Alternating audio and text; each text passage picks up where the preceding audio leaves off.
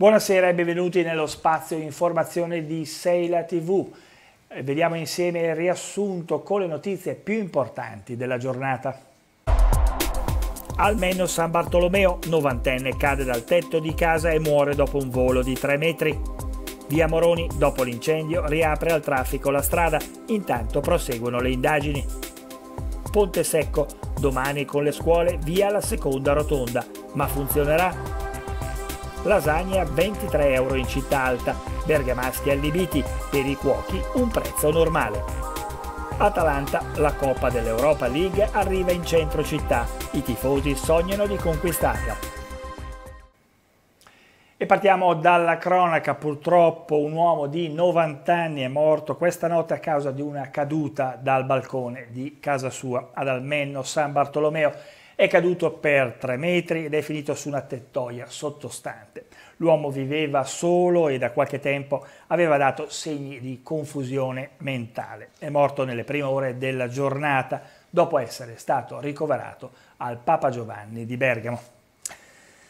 Tragedia in montagna, un altro morto nella giornata di ieri si chiama, anzi si chiamava Luca Capelli, 30 anni di Almenno San Salvatore. È morto cadendo, cadendo in un canalone in Val Camonica, in zona Corno delle Granate. Si trovava incordata con un amico quando è scivolato ed è precipitato per 100 metri. Tutto è accaduto poco prima di mezzogiorno e a nulla sono serviti i soccorsi giunti sul posto. Luca lascia i genitori, Mario e Ivana, e il fratello minore Francesco. La salma si trova alla casa del comiato di Almenno San Bartolomeo. I funerali si svolgeranno mercoledì 13 settembre alle 10 nella parrocchia di Almenno San Salvatore. Ora parliamo dell'incendio di via Moroni, c'è il primo indagato, il titolare dell'azienda che avrebbe dovuto iniziare i lavori, il cantiere, avviato il cantiere proprio la mattina dell'incendio. Nell'inchiesta per incendio colposo a carico di ignoti che riguarda le tre palazzine di via Moroni c'è un indagato ufficiale. È il titolare della ditta di Brembate che quella mattina avrebbe dovuto iniziare il cantiere per la ristrutturazione di un appartamento al terzo piano, un atto dovuto in attesa delle perizie fatte dai vigili del fuoco con l'ausilio del nucleo investigativo antincendio da stabilire se quella mattina l'indagato e il suo operaio avessero solo scaricato materiale, come dichiarato ai vigili urbani, o al contrario fossero già iniziati i lavori. Al centro del sopralluogo un flessibile e due lampade, unici elementi che avrebbero potuto scatenare le fiamme. Scartate altre ipotesi, come l'impianto elettrico difettoso o una scintilla provocata dal gas. La buona notizia c'è, Via Moroni è stata riaperta al traffico. Alcuni residenti inoltre sono tornati nelle proprie abitazioni dichiarate agibili. Mentre continua la raccolta di fondi, sono 43 invece gli sfollati che resteranno fino al 30 settembre ospiti al Central Hostel di Bergamo a spese del comune. Incendio questa mattina alle 9.30 a Villongo in via Roma. A bruciare è stato il frigorifero di un appartamento della palazzina sopra gli uffici postali. Il fumo e le fiamme si sono propagate anche nelle abitazioni limitrofe, tanto che è stato fatto evacuare l'intero edificio. edificio. Fortunatamente nessuna persona è rimasta ferita, le fiamme sono state spente intorno alle 10.30, gli uffici postali hanno riaperto ma l'appartamento dal quale è scoppiato l'incendio ed è stato dichiarato inagibile.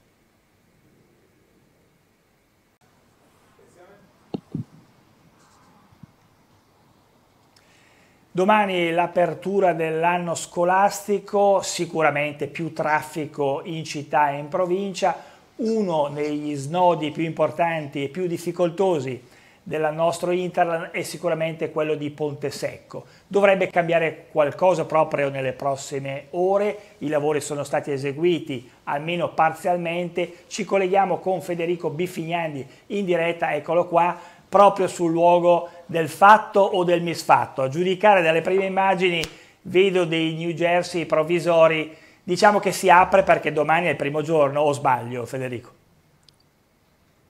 Sì, ciao Luca e buonasera a tutti i nostri telespettatori. Alle spalle, come hai detto tu, il famigerato nodo di Ponte Secco dove da questa sera, attorno alle 21, ti do un'anticipazione, dovrebbe aprire la seconda rotatoria, quella che eh, fa la coppia con la prima, già inaugurata diverse settimane fa all'altezza di Valtesse. Si aprirà questa sera, quindi domani per il primo giorno di scuola la rotatoria sarà eh, eh, funzionante a tutti gli effetti. Dovrebbe sciogliere il nodo eh, famigerato di Ponte Secco eh, da e per la Val Brembana. A occhio e croce, come dicevi tu, si apre proprio perché eh, l'assessore Brembilla, eh, assessore comunale dei lavori pubblici Brembilla, aveva detto se non apriamo entro l'inizio delle scuole ammazzo qualcuno. Ovviamente eh, fuori dai microfoni, detto con eh, simpatia, ma per dire che voleva aprire a tutti i costi. Parentesi, a mio avviso, insomma, eh, questi tanti cantieri per la viabilità determineranno un po' forse anche le eh, elezioni del, del, giugno 2024 per la nuova giunta. Come aprirà la nuova rotatoria con dei New Jersey provvisori che disegneranno una vera e propria rotatoria proprio alle mie spalle, si spegneranno i semafori e si prenderà, prenderà forma, insomma, ecco nuova, eh, il nuovo nodo, speriamo non più di Ponte Secco. Però eh, arrivando qui, eh, vi farò poi vedere le immagini nel servizio che manderemo. Arrivando qui, la situazione è, molto vicino al drammatico perché dallo stadio fino al semaforo della Maresana è una coda unica. E anche provenendo da via Ruggeri da Stabello e quindi dal centro città, insomma, la situazione non è migliore. Sono qua da un po' e almeno tre o quattro persone che sono passate in auto hanno gridato agli operai eh, che sono al lavoro ma aprite o no e soprattutto quando basta lavori proprio una protesta volante che fa un po' sorridere ma la dice lunga sul, eh, sullo stato d'animo comunque la notizia è che stasera si apre salvo imprevisti domani per l'inizio della scuola la viabilità dovrebbe migliorare ma se sei d'accordo lancerei un recap che ho preparato con immagini registrate poco fa per capire meglio appunto come funzionerà il tutto. Ecco, ringraziando Federico Bifignandi per la puntualità del suo lavoro, diciamo anche che nessuno può smaterializzare migliaia e migliaia di macchine, è un nodo che ha fatto impazzire e probabilmente lo farà ancora per molti anni, il centro del discorso è la quantità infinita di macchine, l'abbiamo visto con Paladina, eh, si apre una, una, una strada ma l'imbuto poi arriva. Agevoliamo il servizio. Salvo imprevisti dell'ultimo minuto aprirà domani mattina all'alba la seconda rotatoria voluta dal comune di Bergamo per sciogliere il nodo di Ponte Secco. La prima, la più grande, in territorio di Valtessa, è già attiva da diverse settimane, mentre la seconda, dal diametro di 36 metri, inaugura domani e sostituisce di fatto il semaforo all'incrocio con via Maresana, proprio al confine tra Bergamo e Ponteranica. Un intervento che l'assessore ai lavori pubblici Marco Brembilla ha detto sin da subito che risolverà il traffico al 70%, ma per i bergamaschi l'idea sembra essere già bocciata, sia sulla carta che da primi test di queste settimane con le code che non si sarebbero attenuate nonostante il periodo estivo. Bisognerà tuttavia testare le due rotatorie effettivamente percorribili e il traffico da scuole per esprimere un giudizio e già domani sarà una prova del 9 con pochi appelli. Intanto se la fine dei lavori verrà confermata sarà una prima buona notizia e non scontata. Il nuovo sistema gestirà anche i semafori dei passaggi pedonali spostati a pochi metri dalle rotonde, i quali diventano a chiamata, mentre il ponte con il display di segnalazione tradizionalmente all'incrocio con Ponte Ranica viene trasferito all'ingresso dell'asse lungo via Ruggeri da Stabello. E parliamo ora del nuovo anno scolastico con l'assessore Poli che dà il saluto agli alunni, tra l'altro l'ultimo saluto come assessore uscente perché l'anno prossimo ci saranno le elezioni. L'aspettativa, parto da questa, è che eh, tutti gli investimenti che negli ultimi mesi sono stati dati dal Ministero direttamente alle scuole o dai comuni e dalle province a, diciamo, a migliorare gli edifici possano cominciare a dar frutto quotidianamente, ogni giorno, eh, accogliendo al meglio i ragazzi, le ragazze e tutti i lavoratori della scuola nelle diverse sedi scolastiche. Primo auspicio. E invece un grandissimo in bocca al lupo ai ragazzi e alle ragazze, ai bambini e alle bambine, in bocca al lupo non perché tutto vada bene benissimo, ma perché eh, quest'anno si apra un percorso il più possibile interessante e coinvolgente, quello che le scuole stanno cercando di fare uscendo da un periodo che è anche un periodo di grande fatica. Lasciamo perdere gli aspetti dolorosi o di riorganizzazione legati alla pandemia è fuori di dubbio che tutte le persone si stanno portando dietro una grande fatica. Nel mondo della scuola la sento particolarmente. Ecco, io spero che quest'anno per tutti possa essere come un grande respiro, prendiamo aria e ripartiamo con un'idea di normalità e di rapporti più sereni che non può che giovare a tutti, bambini, famiglie e lavoratori della scuola. Eh, sì, sono dieci anni, potrebbe essere il mio ultimo anno. Io sono molto soddisfatta del eh, tipo di relazioni che tra comune e scuola si sono instaurati in questi anni. C'è una facilità di rapporti, una fluidità di linguaggi che è molto migliorata rispetto a quando sono arrivata nel 2014. E un altro punto focale del, eh, della viabilità bergamasca della città è quella del trasporto urbano. ATB si dice pronta per, prima, per la prima campanella delle scuole e anche per l'invasione dei turisti. Domani suona la prima campanella scolastica in provincia che segna l'inizio della nuova stagione un po' per tutti, anche per ATV che con il suo trasporto pubblico locale contribuisce a regolare notevolmente il traffico cittadino e a servire studenti, lavoratori e comuni cittadini. Abbiamo eh, l'obiettivo di eh, raggiungere una percentuale maggiore di abbonati rispetto agli, agli anni scorsi, eh, proprio perché a seguito degli anni del Covid eh, questo tipo di utenza è è, calata. I numeri ufficiali sugli abbonamenti ancora non sono stati snocciolati e si attende l'effettiva ripresa delle scuole, ma intanto i primi passi sembrano essere positivi. Abbiamo una ripresa del più 8% rispetto all'anno scorso eh, di abbonati, ma eh, ancora in calo rispetto al 2019, quindi abbiamo un meno 15% rispetto al 2019. Bergamo tuttavia si sta modificando andando verso una dimensione sempre più turistica. Ecco perché il servizio non può essere pensato solo per i nove mesi scolastici, ma anche in funzione dei flussi di visitatori. I servizi turistici che maggiormente mh, mm, eh, vengono utilizzati sono quelli che collegano l'aeroporto col centro città e città alta, così come le due funicolari. Come è stato fatto nel periodo estivo, comunque verrà, ehm, avremo un occhio di riguardo anche per il periodo invernale. A questo proposito la funicolare resta un mezzo sotto osservazione, tante le code che si formano in viale Vittorio Emanuele, secondo qualcuno anche per la chiusura del bar che aiutava come biglietteria, sebbene i ticket siano sempre rimasti in vendita nella stazione bassa. Notizie sulla riapertura di quel locale? Uh, sicuramente non sarà a settembre, molto probabilmente nell'autunno. La direttrice ha parlato anche della sicurezza degli autisti, il cui fenomeno era salito alla ribalta qualche mese fa per via di qualche episodio di troppo.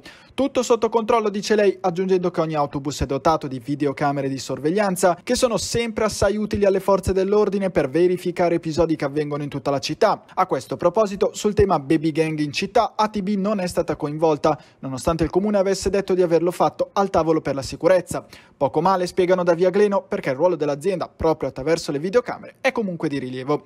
In tempi di scuole che iniziano, a quale voto ambisce ATB per giugno? È almeno il 7,5. E torniamo su una delle due polemiche cittadine, quella della piramide in Piazza Vecchia. È Vittorio Sgarbi che boccia clamorosamente la piramide verde installata per, dai maestri del paesaggio. La critica era arrivata a fine settimana in via personale con il sindaco Giorgio Gori che aveva risposto tranchante, non l'ha nemmeno vista. Nel pomeriggio di oggi è, arrivato, è arrivata la nota dal sottosegretario di Stato alla cultura, oltre che critico d'arte sono in totale disaccordo con il sindaco di Bergamo che non è il padrone della città, né alta né bassa, la cui condizione di capitale della cultura e la sua tutela monumentale sono determinazioni e responsabilità del Ministero della Cultura. Aggiunge Sgarbi, do il mio sostegno alla soprintendenza, ma allo stesso tempo indicazione stessa perché il prossimo anno non si astenga su proposte arbitrarie, benché temporanee, creando ambigue interpretazioni di silenzio-assenso, ma manifesti il proprio diniego a installazioni velleitarie e ideologiche. Conclude il sottosegretario Sgarbi. Bergamo Alta, tutelata dall'UNESCO oltre che dal Ministero, non è un laboratorio di sperimentazioni sulla pelle dei monumenti e contro una fontana storica. Con quella piramide la città appare non alta ma altra e questo non serve a Bergamo. Altra polemica, ironica ma non troppo, si parla di lasagne, lasagne piatto buonissimo che in città alta eh, apparivano un po' troppo care in un locale della Bergamasca di Bergamo Alta, ma un po' in tutti i locali c'è stato un aumento generalizzato dei prezzi. Ci sono anche dei perché e lo spieghiamo in questo servizio di Sharon Bordogni. Tra le domande amletiche che si arrovellano nella mente dei bergamaschi, la questione giusto prezzo della tipica lasagna orobica occupa non a caso la punta della piramide. In città alta, sulla via della Corsarola, il ristorante non stellato Bernabò propone un prezzo di 23,46 euro delle vecchie mila lire per un piatto fatto dalla mamma Antonietta, che sui social scherzano essere la zia segreta di Canavacciuolo con residenza alle Maldive. Facendo due calcoli, al costo di una porzione di lasagne al ristorante di Città Alta se ne potrebbero acquistare 6 al supermercato o un chilo in una buona gastronomia di Città Alta, ricevendo anche il resto. Il ristorante si difende citando ingredienti di primissima scelta e tutti fatti in casa come giustificazione del prezzo e se i cittadini gridano ai rincari, Ascom e i ristoratori prendono le difese del Bernabò. Come mai non vediamo tutta questa polemica per un maglioncino da 400 euro o delle scarpe, delle semplici sneaker da 600 euro? Io ritengo che siano più fuori luogo quelle. I prezzi dei ristoranti hanno dei costi già alti di base. Dipende il collega cosa ha messo come ingredienti, dipende dai costi dell'azienda, il locale, che tipologia di servizio va ad offrire, poi sarà il mercato a premiarlo o a penalizzarlo. Quando uno accede in un ristorante o un bar non compra un prodotto, ma compra un servizio, altrimenti potrebbe paragonare quel prodotto a un prodotto che compra al supermercato, ma non è la stessa cosa fermo restando che poi uno è libero di pensare se il caso specifico delle 23 euro di una lasagna siano troppo alti o a seconda del ristorante siano anche bassi. Esistono ristoranti segnalati nelle guide anche nella nostra provincia dove i primi piatti costano addirittura spesso un terzo in più di questo, di questo prezzo. Insomma, il prezzo è esposto, sta al cliente che oltre al prezzo della lasagna si troverà a pagare anche coperto e bevande per un minimo di 6-7 euro in più sul costo della pietanza, scegliere o meno quel ristorante. Anche se, a volerla dire proprio tutta, questa mattina il cartello che riportava il prezzo di 23 euro per le lasagne è misteriosamente sparito dal Bernabò, mentre ne è comparso un altro nel ristorante di fronte che ha deciso di cavalcare l'onda lasagne, offrendole ai suoi clienti al prezzo ben più modico di 10 euro. Andiamo ora ad argomenti forse più seri, la crisi della sanità perenne, ci mancava anche il Ministero in ritardo sull'assegnazione delle specializzazioni. Non c'è pace nel settore della sanità, se da mesi si sottolinea come la carenza strutturale di medici parta dalla riorganizzazione anche della formazione e dell'accesso alle specializzazioni, ecco che arriva un altro ostacolo. Il ritardo nella pubblicazione dei posti disponibili in ciascuna scuola di specializzazione in medicina da parte del Ministero dell'Università e Ricerca si è trasformato in un vero e proprio slittamento della data, in cui i candidati potranno esprimere le loro preferenze in merito alle tipologie tipologie e alle sedi da frequentare. Gli specializzandi avrebbero dovuto scegliere dove iscriversi a partire dall'8 e fino al 18 settembre. Ora tutto è rimandato a inizio ottobre, con la conferma però di entrata in servizio al 1 novembre. Sulle barricate le associazioni di categoria che puntano il dito contro l'inefficienza del Ministero. Ci saranno conseguenze gravi per un'intera generazione di giovani medici, si legge in una nota congiunta. Questi ritardi riducono anche la possibilità di procedere con lo scorrimento trasferimento di graduatoria, aumentando quindi il rischio di perdere borse di specializzazione, fondamentali per la tenuta futura del servizio sanitario, concludono. Nel 2022 il tasso di posti persi è arrivato al 15%, se si considera che ciascuna borsa si fonda su finanziamenti oltre i 110.000 euro, è chiaro come ogni posto non assegnato sia una perdita per la collettività, senza contare dal punto di vista umano che dalla pubblicazione delle graduatorie prevista per il 16 ottobre gli specializzandi avranno meno di due settimane per organizzare i trasferimenti nelle città di assegnazione, praticamente la loro vita per i prossimi 4-5 anni. Ci fermiamo per qualche consiglio per gli acquisti, ci ritroveremo con notizie sportive e una bellissima mostra a Pagazzano.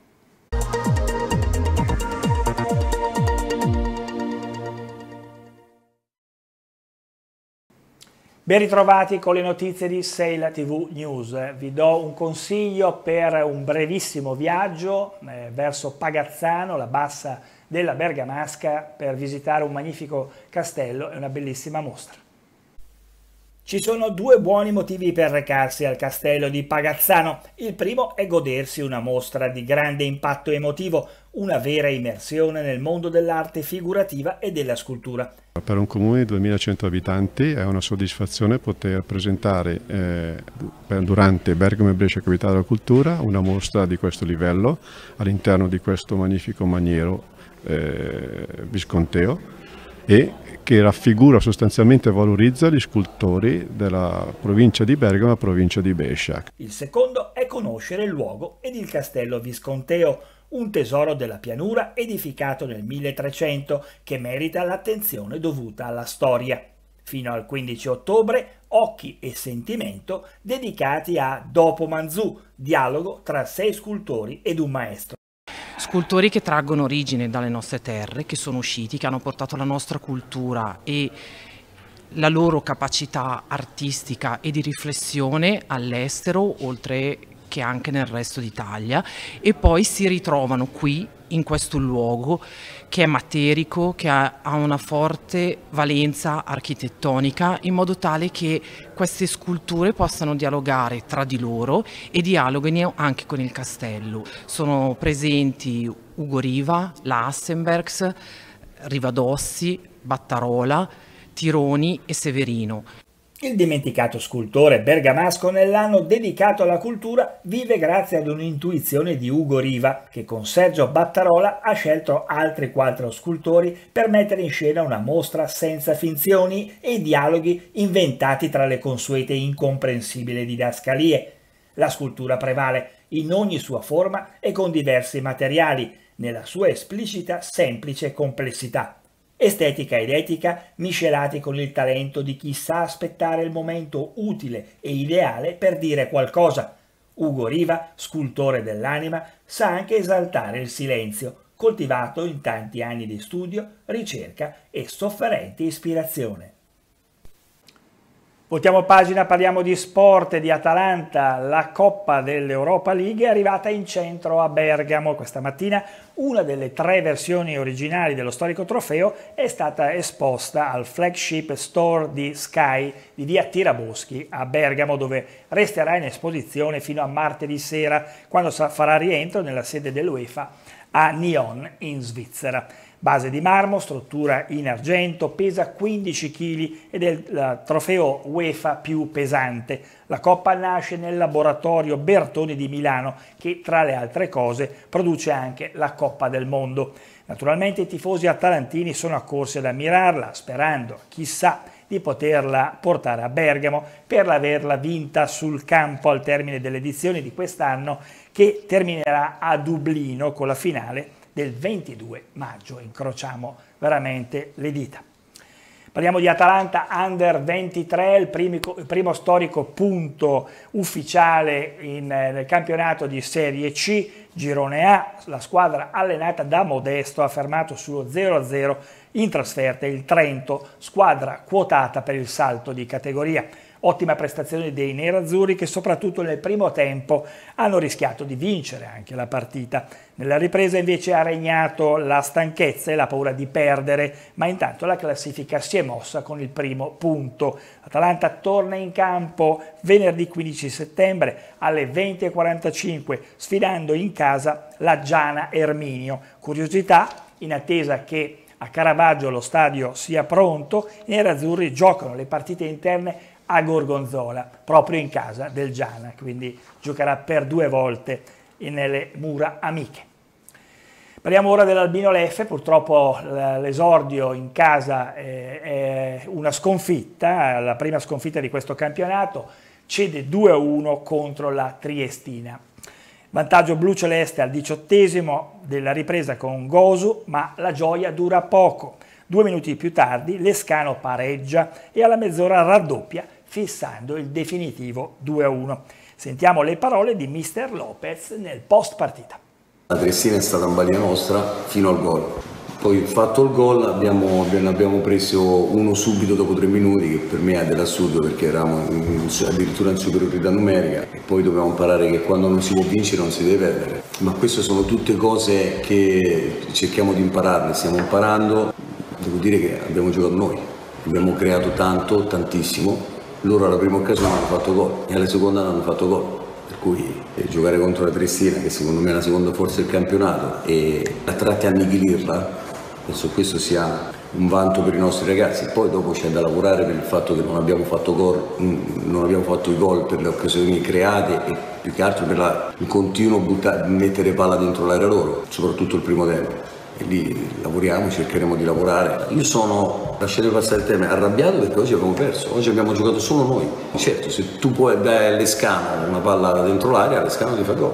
Però io sono molto contento di come la squadra sta in campo, di come affronta le partite, dell'equilibrio che mantiene, perché anche sui due gol che abbiamo preso noi eravamo superiorità numerica, per cui c'è un errore Grande mister, quando non si può vincere non si deve perdere, questa ce la segniamo, come ci segniamo il tempo delle prossime ore con 3B Meteo.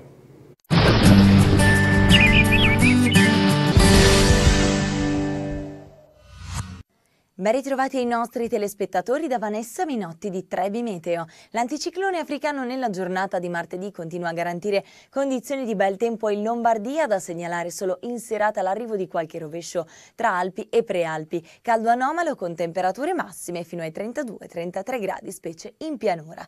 In dettaglio sulla provincia di Bergamo, contesto di stabilità per gran parte della giornata, eccetto in serata qualche rovescio in arrivo, come dicevo, sui monti. Massime comprese tra i 28 e i 32 gradi. Per quanto riguarda poi la giornata di mercoledì, una perturbazione transiterà sulla provincia apportando dell'instabilità con fenomeni anche di forte intensità, temperature massime in conseguente diminuzione con clima comunque che sarà mite, valori compresi tra i 24 e i 26 gradi.